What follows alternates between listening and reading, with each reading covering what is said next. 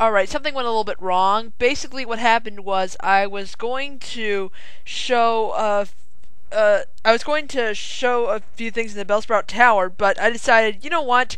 It's the most boring tower on Earth. All you see is a bunch of people um, with Bellsprouts. What else is there to see? So I sped up the entire video.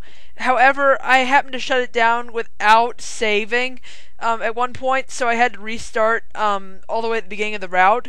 Basically, nothing changed except that um, Talon the Spearow is a little bit higher level than before, and I caught a female Bellsprout instead of a male Bellsprout. Bellsprout. I also found two other Pokemon. Um, so that's basically the only differences. Uh, and I replicated the part where I got to the last trainer, the guy I called a punk, exactly otherwise.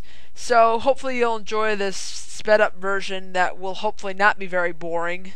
Because by golly, if you saw me go through the Bellsprout Tower without sped up, then it would be boring.